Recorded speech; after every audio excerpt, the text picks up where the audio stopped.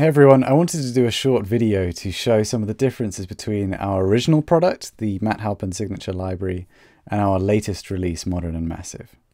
It's really easy to get stuck into the feeling that latest equals better, and even us at GGD sometimes can be guilty of focusing more on our latest work.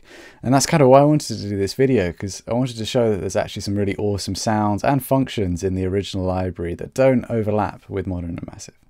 Firstly, let's talk about the sound. So when we first set out to record the Halpern library, our goal was to capture a really clean and precise kit sound, something that would work really well for the heavy progressive music, but that would also be versatile enough to work in lots of different kind of modern styles that require a very hi-fi drum sound. So, you know, I'm thinking pop and funk, anything like that really. And the drums that we chose reflected this. We went for really short and punchy sounding kicks and snares, these very clean melodic sounding toms with long notes to them and really airy cymbals.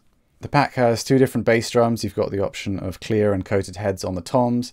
There are five different snare options going from extremely low to this cranked 13 inch, and there's a wide array of cymbals too. When we designed Modern and Massive, however, the idea was to focus on larger drums. We specifically wanted those lower pitches and a kind of more stripped back kit setup that's kind of extension of your classic one rack tom one or two floor toms, big kick drum, rock setup. And we deliberately wanted things to sound a little bit less controlled, more raucous, uh, more sympathetic resonances between the drums. Um, the kinds of things that can kind of make sure the drum sound really congealed together, but also that you can pull things back and actually get kind of a classic sound out of it. So I guess let's dive in and listen to the raw sounds from each of the libraries in a groove context, starting with the Halpern signature kit.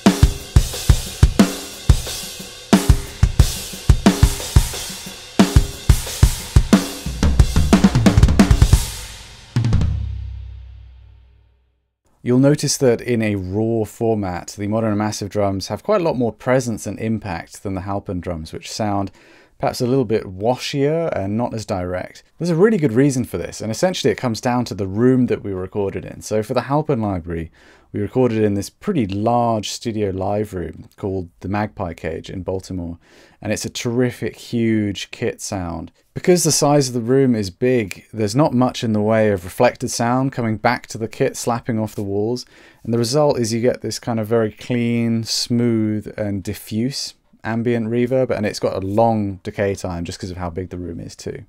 By contrast, Modern and Massive was recorded in a smaller and kind of tighter sounding live room. It's still a decent size. It's one of my absolute favorites. It's called Middle Farm here in the UK. Uh, I've recorded a lot of records there and it's, it's a wicked sound, but it's a lot shorter in its decay. But there's a lot more snap coming back off the walls, which makes it sound more direct and punchy. You can achieve the impression of having a longer sounding decay by compressing the mics heavily, the, the room mics specifically, which is an awesome sound, but it still is a kind of different thing than you get from the naturally big sounding room that we recorded the Matt Halpern library in. So with the modern and massive session, because of the way the room gives back such a snappy response, it plays a much more active role in the direct sound of the kit. You know, everything just sounds more upfront and punchy, where the Halpern kit perhaps just requires a bit of uncovering, a bit of mixing, in order that you can reveal the punch of the close mics and then get the more kind of airy sounding reverb that that room offers. So now that I've said that, let's check out the same clip with a bit of EQ and compression. Nothing too extreme, but just kind of bringing us closer to a final drum mix sound. And hopefully you'll notice that the gap kind of closes between them quite a lot um, once you kind of uncover the gems in the close mic sounds from the Halpern kit. Let's take a listen.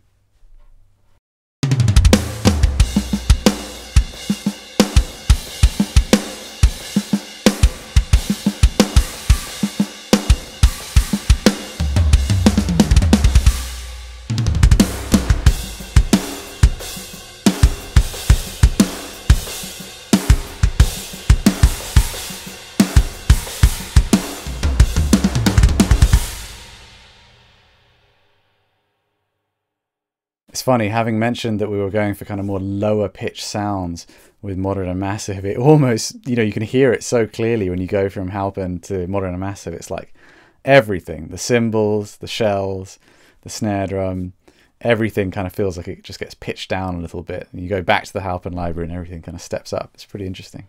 To confuse matters further, we released an update for the Matt Halpern library where we included some samples that we'd recorded during the album recording session for Periphery 3, which we did at Middle Farm Studios, where we later recorded Modern and Massive. So within the same Halpern uh, signature drum pack, you can access these samples, which were recorded in a different place and time.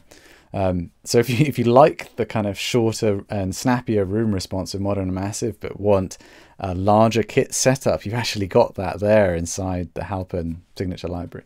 Moving away from the sounds, the Halpern library actually has a load of extra articulations which are not present in Modern and Massive. So you've got, for example, kick, stick, click hit, where he's literally hitting the rim of the kick drum with his stick. Uh, same thing, the rims on the toms. In terms of the cymbals, you've actually got the tip and edge versions of the hi-hat hit. So that's you know, hitting with the edge of the stick or the tip for every stage of openness. Uh, on the crashes, you have bell hits, like you'd hit a ride cymbal, but on a crash, as well as recorded cymbal swells that can be super useful. On the rise, you have both uh, the bell tip and shoulder of the stick. Um, and all of these little articulations which are present in there could be really inspiring for adding additional percussion textures to your drum programming.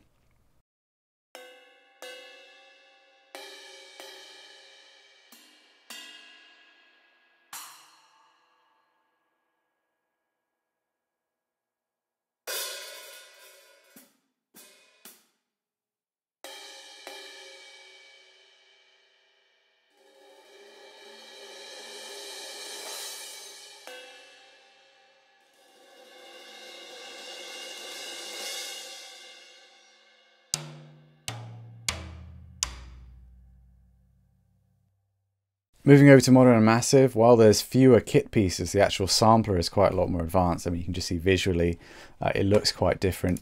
One of the big things that we've got going on in Modern and Massive is the inclusion of turbo mode. It blends in my specific processing for each specific drum uh, on each channel. So you can basically blend between the raw sound and kind of how I would mix it. You can go from 0 to 100% or anything in between on each channel of the mixer for each drum. So it gives you a whole load of flexibility there. There's also a reverb.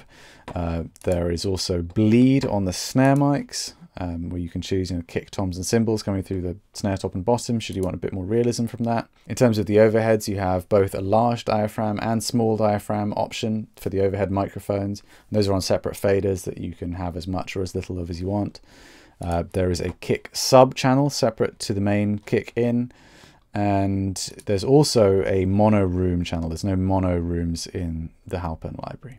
Both libraries also include a MIDI groove player where you can load up the MIDI grooves that have been recorded by some amazing drummers.